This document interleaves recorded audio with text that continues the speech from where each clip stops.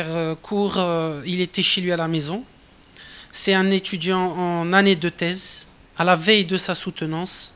Il avait déjà donné à son professeur la thèse pour qu'elle le corrige. Euh, lui qui est très jovial et très serviable, une amie en classe inférieure, en quatrième année, est venue lui demander secours parce qu'elle avait des examens. Elle lui a demandé secours pour qu'il vienne lui montrer comment étudier ses cours. C'est à ce moment-là qu'il est descendu pour lui expliquer. Et c'est là où les six individus, munis de trois scooters avec des coupes-coupes et des armes blanches, qui les ont menacés donc, euh, pour les dérober. Donc ils n'ont pas fait de résistance. Il leur a remis argent, portable, tout ce qui avait de la valeur, juste pour euh, qu'il n'ait pas de problème et pour euh, aussi, ayant peur pour la vie de la personne qui était avec lui. Et selon les dires de la témoin, la, témointe, c'est que euh, après avoir tout pris, ils se sont dirigés pour quitter le lieu de, l'agression.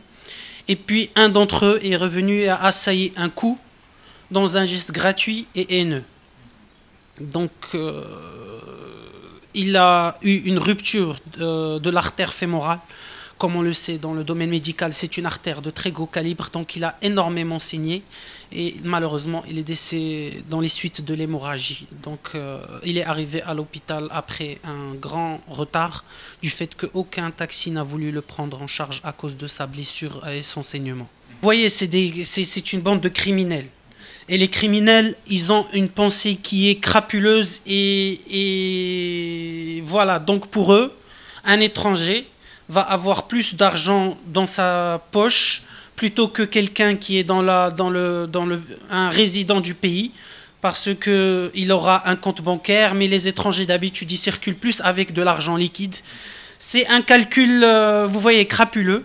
Donc, euh, c'est pas ciblé envers la communauté marocaine. Je dirais que c'est des gens crapuleusement qui pensent que les étrangers ont plus d'argent, donc on va voler ces étrangers électivement.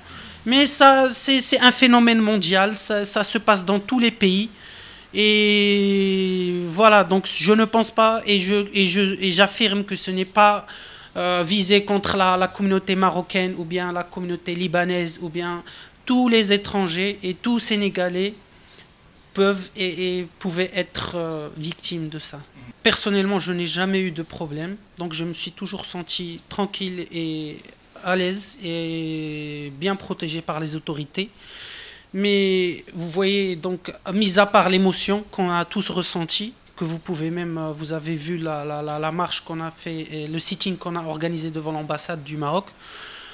Donc, euh, en, ayant un, regard critique et scientifique sur la situation, je pense qu'il y a un sentiment général d'insécurité, quand j'ai vu les, les, Sénégalais commenter l'assassinat de notre frère et bien-aimé Mazine, j'ai vu qu'il y avait un sentiment d'insécurité qui était partagé par tout l'ensemble de la population sénégalaise et de la récurrence de ce genre d'actes, alors que nous ne sommes pas habitués à ce genre d'actes dans ce pays.